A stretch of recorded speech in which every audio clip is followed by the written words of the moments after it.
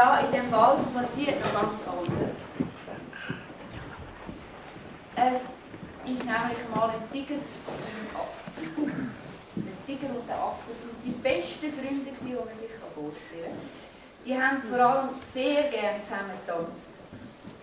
Aber sie haben auch noch anderes gemacht. Sie haben zum Beispiel auch gerne sind sie spazieren miteinander.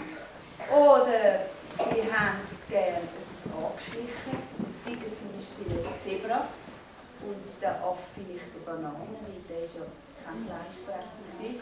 Oder sie haben, was haben sie noch gemacht? Sie haben zum Beispiel Fangis gespielt und manchmal sind sie auch überrascht worden von einem Gewitter. Das blitzt und donnert und fängt an zu regnen und wenn es da innen also fest regnet, müssen sie halt einen Schirm umspannen, weil wir wollen ja nicht, dass sie dann flutschen aus der Hose können. Und dann irgendwann laufen sie heim und sind dann wirklich müde.